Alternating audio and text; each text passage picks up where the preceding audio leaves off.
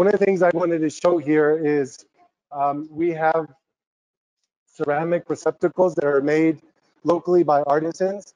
And the way our social enterprise model, because we transitioned from a foundation to a social enterprise, um, we use these ceramic receptacles uh, for our urban customers.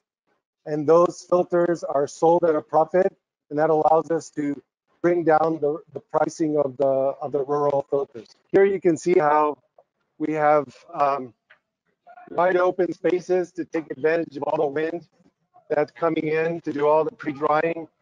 We, we do all the drying of the sawdust um, here on these patios. Here we have the two raw materials, which are uh, sawdust from certified mills uh, about four hours away from the factory. And we source the clay about five hours away.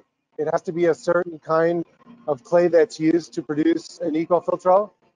And here's here's the cutaway again. So the sawdust in the kilns, which I'll show later, becomes carbon and eliminates any bad odor, bad smell, uh, allows the filter to produce clean, fresh, uh, natural tasting tasting water. Here, uh, in this machine in the background, we mix the clay and the sawdust. I'll, I'll show you. This is uh, this is what a a raw uh, cake of clay and sawdust looks like.